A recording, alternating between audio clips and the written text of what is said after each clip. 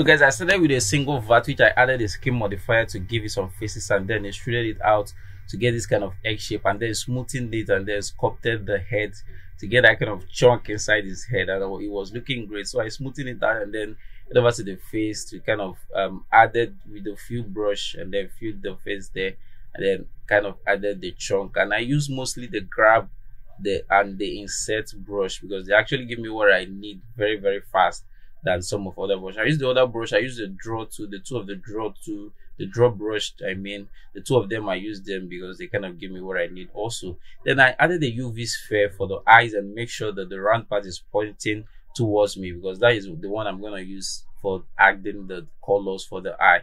So I mirrored it and made sure it was lapping. So adding the eyes actually kind of needed me to uh, bring up the eyelid so it's gonna fit in well. It was fitting well, and then it went over to the mouth. I sculpted the mouth from the body, but that wasn't perfect because you will see later why it wasn't okay. So I used um, another vert and then added the skin modifier, extruded it out to get the hand. It was perfect. I duplicated it again and used it for the fingers. It was looking like it was wearing a, gro- a glove, so using a different shape would, was perfect. So I use the, the, the same vert and then one of the vert I used it to extrude the forehand. It was having having forehand. So I used one vert and extruded it to um get the hand and then had to sculpt it to look perfect. So I duplicated the hand and then with still the mirror modifier on and then adjusted to fit for the leg. The leg wasn't that um it was seamless, didn't take much of my time. So I had to get a new vert again, add the skin modifier and then um, add a mirror to create the leg. The leg was kind of bulky but I had to do some adjustments before I head over to the leg. So I adjusted the body and then uh, did some minor adjustments on the body and then the hand. So I, I used the crease brush to to kind of get this inset on the hand. It was looking like he was wearing a glove. So to get that feel, I used a crease, crease brush too and actually use the grab brush to, to grab the hands and make him look as if his hand is facing inward instead of going outside to look more realistic like a cartoon, not that realistic of a human being. So I added some little bones to make his hand not that smooth. So I went over to the leg to flatten it, and I used the fill um, brush to fill in some of the places here. You, you see, it looks that they're uh, detached. So I actually feed it to look better, but that didn't give me much of the result I was looking for. But it was it was okay. So I actually cleaned it up and made sure it's smooth. So I actually brought um, a new uh, mesh that was a UV sphere to create that of the boot. So I mirrored it and then but the mirror wasn't perfect because I later deleted half of it and did every single thing on one of the shoe before I mirrored it like after I was done with the whole model. So I sculpted the um this time the mirror was still on. So I sculpted the legs and then smoothing the places I needed to smoothen. And then with the sculpture and the grab and the insets, these are most of the tools I use. So I inserted this one and then use the grab tool to um, grab out here and then the fill brush tool okay? I, was, I was supposed to be adding brush to the tool because they are brushes okay? So I actually grab this with a grab brush and then smoothing some of the places to add this kind of what is a buckle that was on the shoe. So the shoe right now is still not looking perfect like a shoe so I have to add some edges and then add some kind of um curves to the shoe make it look perfect. So I actually sculpted I sculpted this, which I did I wasn't supposed to do. That was one of the problems I had when I was modeling sculpting the shoe because it took my time. So I had to uh, smooth the uh, sculpting and then use the face again with a shrink wrap and then wrap it on the shoe using the shoe as um, the reference. So I wrapped it over to the shoe and then smoothing it with the subdivision surface. Okay, I used the multi-rail so I could also sculpt it and then adjusted and then copied it, duplicated it, and then mirrored it after duplicating so it could lap on the other shoe. Now you will see why I told you I actually worked on one of the shoe after everything and then duplicated it to the other side because working at the same time, I think the geometry wasn't that much symmetrized.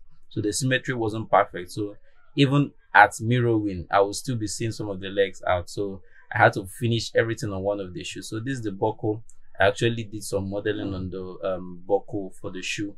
And then I first of all used the array for this buckle. I used the array to to array and then a three um, step array to give the array for the buckle, but it wasn't perfect. So I had to add them one after the other. So now working on the shoe night, okay, I've gotten what I needed. I had to balance the um, killer Bean to make him look like he's standing proper. So now I use the plane and then shrink wrap again to wrap it on the body and then extruded over to the edit mode, extruded the edges to get the clothes. So I was very much careful here because I had to get the opening where his hand was coming out and it was curved. So it wasn't uh, sharp. It wasn't edged. So it was curved. So I had to be uh, very careful there on the faces. Some of them were kind of uh, overlapping to creating n-gon. So make sure I adjusted it perfectly well and then I later got a good result. So after the adjusting and then I extruded downwards and then adjusted here now to create the curve. So it was looking okay now. It was kind of looking okay. I extruded this out and it was mir I mirrored this. So adding a, uh, a, uh, a plane here, you have to mirror it to save a lot of your time. So I mirrored it to make sure it was straight here. So they were all at the normal to each other. So I lapped it. Having the clipping for the mirror on. So it got there and it clipped at the back. So I did minor adjustments to the cloth and then I added the solidify modifier to solidify the cloth and give it some thickness and then smoothing it again. Okay, I think I used the multi-res to smooth it this time, the multi-resolution modifier, so I could sculpt it. Yeah, that was kind of a chunk on his clothes here where he added, I don't know, it was a kind of a buckle, so I had to sculpt here to make it look okay and lapping when I will add the chunk. So I had to create this lining between his clothes to make it look padded as the clothes. So kind of sculpted there and there, smoothing it, made it look perfect. So I actually adjusted the clothes to make it look as if it's, it's not that lapping on his clothes. So I, I used the plane modifier, um, the plane, and then use the shrink wrap modifier to uh, wrap it on the clothes here to actually go around the clothes because he was having a belt so on the clothes so to create that black belt this is a shrink wrap modifier and then wrapped it through the clothes and then i actually had to adjust because the whole geometry wasn't it wasn't regular it was irregular so i had to adjust some parts to look the same height okay so it was actually okay now i did much of the job so i had to from the same belt i extruded it was wearing a, a cross belt which was black so I had to extrude that one also from that um, um uh, down bed.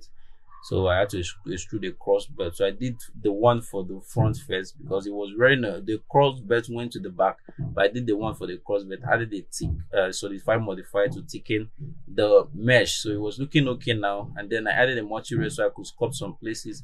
And then with the grab tool, I grabbed some places and then um smoothing it and then some places that wasn't lab you know when you add when you mirror some stuff on this uh when you mirror most of the stuff will not overlap at the clipping joint so it didn't overlap so i made sure it overlap so i had to use the a cube to create this chunk um kind of a buckle on his edge on the side there on that cloth so did um some geometry adjustment on that one added the subdivision surface to smoothen it. You know, when, most times, even after applying the uh, transforms you've done on the shape, if you add the subdivision modifier, it's, it's not gonna give it that kind of um uh, edge you are looking for. Most of the times, the edges will be very much curved, so the edges were curved too much.